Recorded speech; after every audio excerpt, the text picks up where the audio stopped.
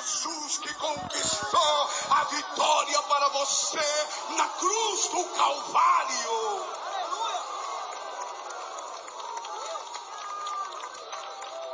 E disse mais: mas ele foi ferido pelas nossas transgressões e moído pelas nossas iniquidades. O castigo que nos traz a paz estava sobre ele, e pelas suas pisadas fomos curados.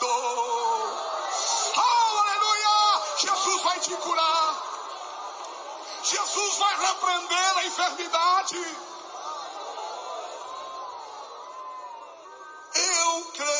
Jesus cura a larga distância, Jesus cura a qualquer pessoa, porque tudo que Jesus faz, porque Ele pagou esse preço. Não foi eu, não foi você que pagou o preço para nós ser curado, para nós ser liberto, para nós ser perdoado. Foi Jesus, foi Jesus lá na cruz. Se o diabo saiu da tua vida, glorifica Jesus, porque foi lá na cruz, lá na cruz, lá na cruz, Ele derrotou o diabo. Oh, aleluia!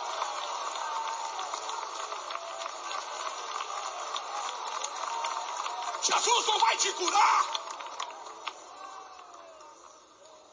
por alguém, por, por, por méritos humanos. Jesus vai te curar. Deus vai te curar pelo mérito de Jesus.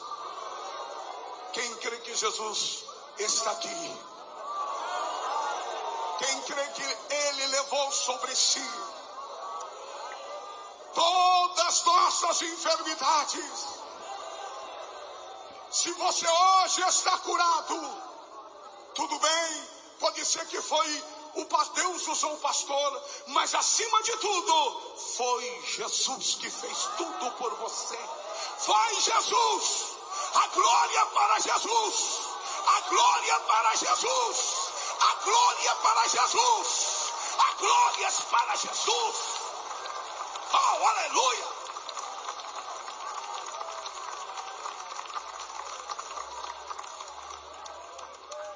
E eu quero falar que Jesus não somente cura, mas ele também cura a pior enfermidade que pode haver no ser humano. Você pode até mesmo morrer de uma enfermidade, como muitos na Bíblia profetas, homens que seguiam a Deus, morreram de enfermidades. Mas eles, antes, foram curados da lepra chamada pecado. Essa enfermidade, ela pode te levar à condenação eterna. Mas eu quero dizer para você: Jesus, Jesus foi moído, foi moído pelos teus pecados. Ele morreu, ele morreu para curar você da lepra chamada pecado. E hoje ele está aqui para entrar na sua casa e curar você. A lepra a lepra, meu irmão, faz que a pessoa perde a sensibilidade no corpo. Pode alguém pegar um palito de fósforo, ali perto onde está a lepra, aquela pessoa não vai sentir que o fogo está queimando, porque a lepra tirou toda a sensibilidade. Meu irmão, o pecado está destruindo a muitos e eles não, se dão, não estão se dando por conta que a lepra chamada pecado está destruindo a vida dele, a família dele, o lar dele. Mas Jesus hoje, ele está aqui para curar você da lepra chamada pecado, de qualquer tipo de enfermidade, não pelos seus méritos, mas pelos méritos dele, de Jesus. Levou sobre si. Oh, aleluia! Meu irmão, minha irmã, quando eu vejo pessoa enferma, eu tenho vontade de orar por elas. E eu sei que Jesus pode levantar ela. Se está com câncer, Jesus pode curar. Não importa qual tipo de enfermidade você tem, Jesus não vai curar pelos nossos méritos. Jesus vai curar pelo sacrifício dele lá na cruz do Calvário. E é hoje, e é hoje que Deus quer abençoar você.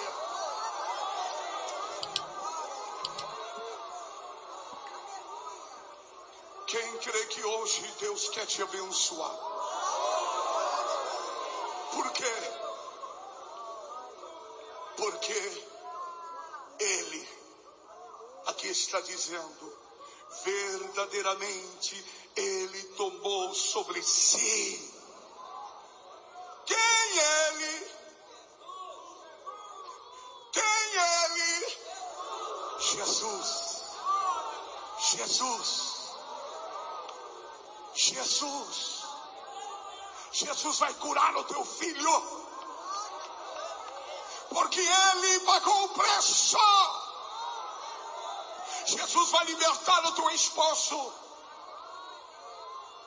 Jesus vai entrar na sua casa. Porque ele pagou o preço. O diabo vai ter que fugir da sua família. Por quê? Porque ele, Jesus, pagou o preço e o nome dele é sobre todos os nomes, e o diabo não pode resistir a Jesus Cristo. Quem crê que Jesus vai fazer isso? Se você chegar em, em, casa e o diabo dizer: Quem é você para expulsar? Diga: Eu não sou nada, mas aquele que morreu na cruz, ele é tudo na minha vida, e você vai sair.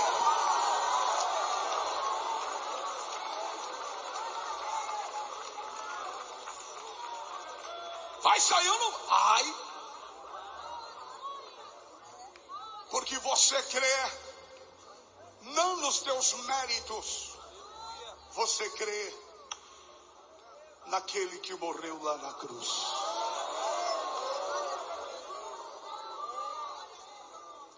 E Mateus entendeu o livro de Isaías.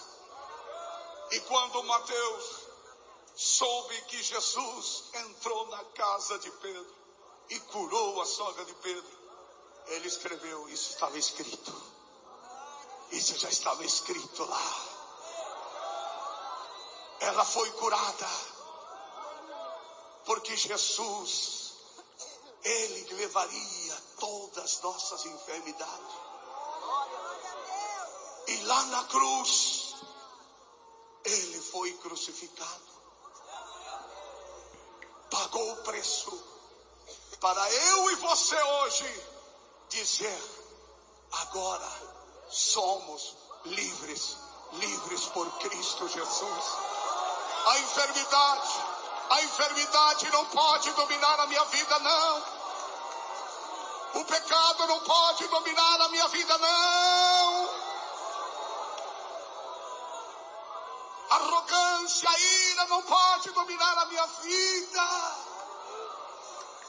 As trevas não podem dominar a minha vida porque agora Jesus entrou na minha casa. E aquela casa que havia gemido de dor, agora na porta daquela casa está uma multidão. Uma multidão. Nós queremos também nós queremos também o que a sogra de Pedro recebeu. Pedro, nós queremos, irmão Pedro, nós queremos ser tocados por este Jesus. Oh, aleluia! Glória! Eu tenho certeza que você que está aqui, de repente até hoje você foi uma casa só de problema, somente dor, somente depressão. Mas hoje Se você